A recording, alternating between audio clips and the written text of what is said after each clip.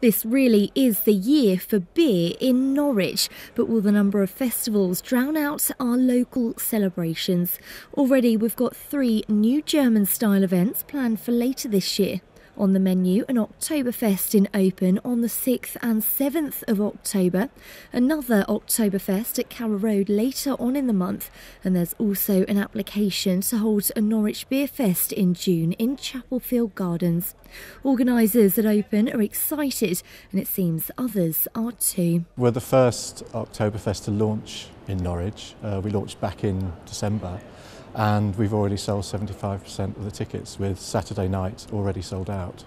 Open is a charity, so we're seeing this very much as a fundraising event. So every penny of profit that we make in the venue goes into the, our youth charity.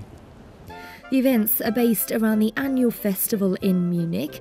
There, it's a little different though, as it goes on for around two and a half weeks and brings in more than six million people from around the world. Organisers of this year's local events, like the City of Ale and Beer Festival, don't see the new additions as competition though. The festivals that we have already are, really well established. Uh, whether the two uh, Oktoberfest will work in conjunction with the uh, the CAMRA Beer Festival, which is really well attended, is something that you know could work in the short term. Whereas something that is going to be a benefit and, and add to the offer that we have in Norwich, it, it could, you know could be the case.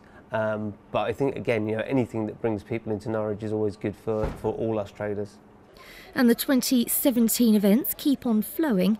The National Winter Ale is the second biggest in the whole country and will happen every February in Norwich until 2019.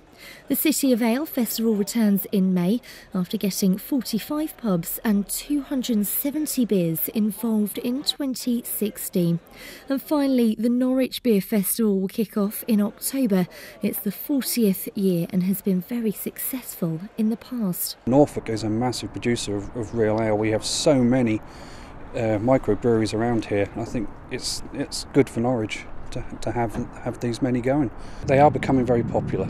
That's that's the thing. There, there is more and more of them going on. There's more around now, not just in the city, but going out to the surrounding areas as well. Uh, are starting to hold smaller festivals, and the numbers are turning up. I think people just enjoy going to them. It's a chance to go and try beers. This year, thousands are expected to flock to the city for the festivals, with people from as far away as Norway. So, whether you enjoy a German pint or Norfolk ale, there'll be plenty to choose from, something we can all drink to. Christina Brinkley, Mustard TV, Norwich.